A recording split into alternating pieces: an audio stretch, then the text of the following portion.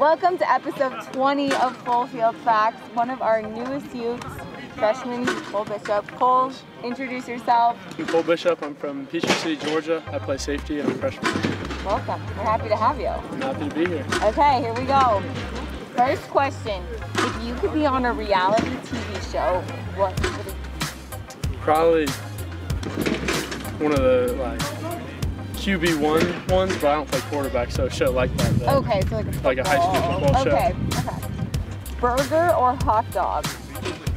Burger, definitely. Definitely. At the movie, candy or popcorn? I usually get those cookie dough bites.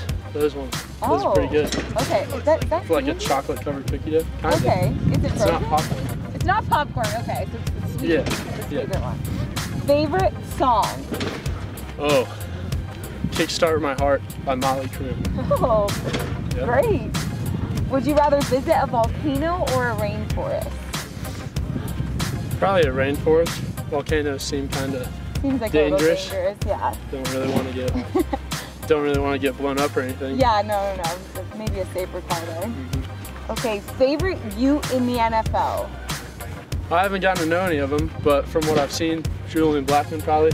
He was really good. We'll have to introduce you next time Yeah, around. next time he's in town. For sure.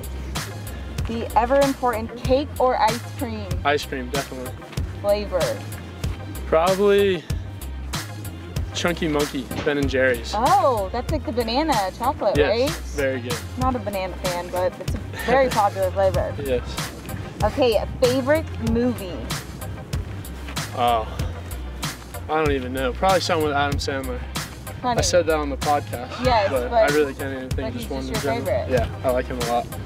Okay, which teammate would you want to be stuck in an elevator with? Oh. Probably Ben Renfro.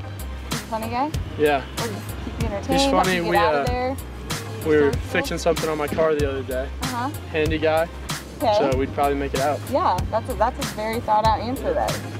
Okay, waffles or pancakes? Waffles. That was like an easy one for you. Yeah. That's well, because they have both of them here, and I usually get the waffles. Okay, so then that's just how you know, right? Okay, tell me what you are loving about this team so far and what you are most excited for in your first season.